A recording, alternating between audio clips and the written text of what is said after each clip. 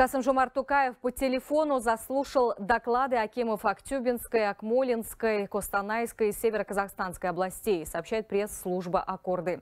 Они проинформировали главу государства о ситуации на местах и принимаемых мерах по сдерживанию природной стихии и ликвидации последствий наводнения.